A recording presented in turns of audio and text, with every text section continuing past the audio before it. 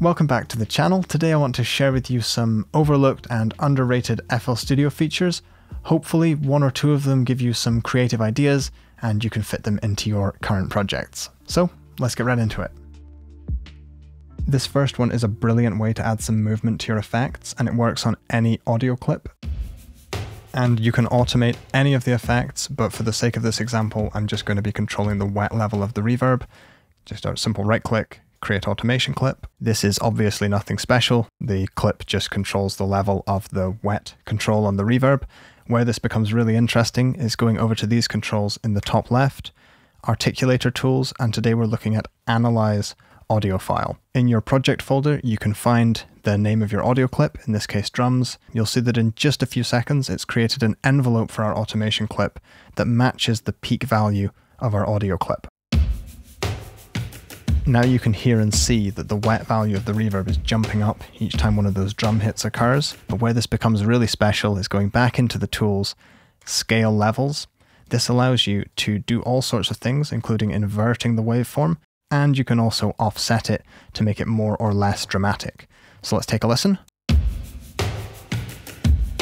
And now you can hear this crazy effect where each time there's a kick, the reverb ducks away and then it swells back up in between. In effect, we've created a sidechain effect, but we haven't had to route to another channel, load any sort of compressor, do any sort of sidechaining, and try to adjust settings. We've done it nice and clean with a simple automation clip. However, I would probably go a little bit further and clean this up. So there's a few more tools going a little bit off script here, but I would select smooth up. Let's take a listen with this automation and then just holding the reverb high.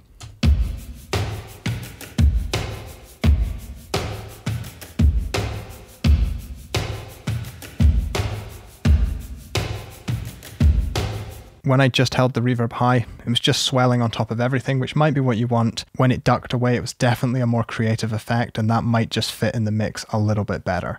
Of course, this is just reverb on a drum. It's a little bit boring, but there's so many ways you can use this effect. It's very useful with vocals. Sometimes you want to swell a reverb or a delay in between phrases, and you can use this to very cleanly achieve that without having to route to another channel, sidechain a compressor to duck your reverb and try to dial in all of those settings. Sometimes that's better, sometimes it's not, so you could always try both and see which one works for you. There's a tool built right into FL Studio to create unique textural pads from any audio sample. Now, instead of choosing an obvious one like a piano, a synth, or a vocal, because those all work really well, I'm going to choose a slightly more odd one, this plucked guitar recording.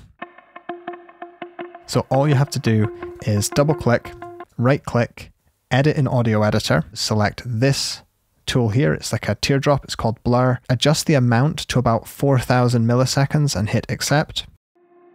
And now we have this unique textural airy pad that we can layer under our track.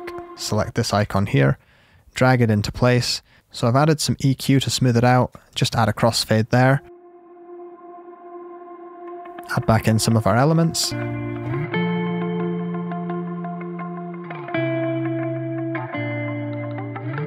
You can hear it just fills out the mix a little bit. Now this is one way to use it, but I often like dragging this into a granulizer.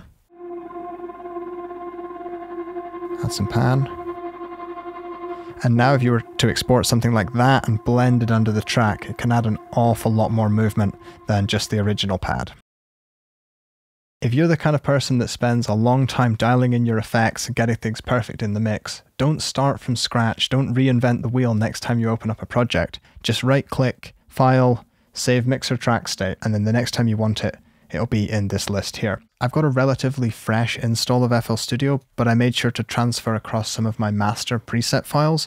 So on the next project, I just right click, select that preset, and then all of the plugins and plugin settings are loaded immediately. If I just open these up, what's important is that all the little settings that I adjust every single time are already done for me. So my loudness is set up the way I want. In VSX, I'm on the right room with the right EQ settings, so it's dialed in the way I like it. Of course, when it comes to limiters, EQs, and compressors, you're going to have to dial in all of this anyway and adjust it. But I've got everything turned on, and from there I can just fine tune it. If you've dialed in perfect settings in the past, the next time you use that bass or that sort of drum loop, just drag those effects back in and give yourself a good place to start from. It's quite shocking how well hidden this one is, but it is possible to use external inputs with third party plugins in FL Studio. So if I want to create a sidechain between the kick and bass, after creating a regular sidechain like this, and then loading a plugin on the bass channel, you'll notice that the sidechain detection circuit is not picking up on those drums no matter what I do here. You have to take one more step, you have to go into the processing and change one of these nodes here and it should say in the top corner what it is you're doing. So this is the sidechain index input. Now you can see that the bass compressor is listening to those drums and applying compression to the bass accordingly.